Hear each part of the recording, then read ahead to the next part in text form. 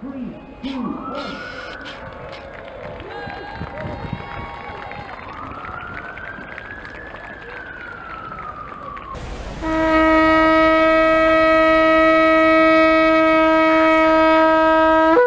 It's a gateway.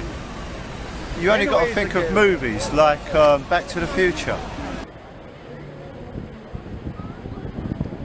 Uh, you got Nelson's column, which is an obelisk, represents a man's bollocks. You've got pillars at the back over there of that um, the art gallery.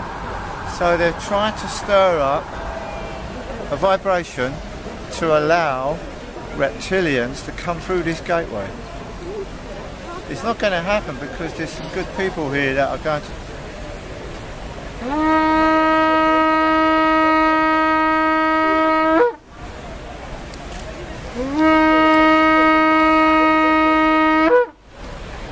Salvation and repentance is coming in this town from this moment in the name of Jesus Christ.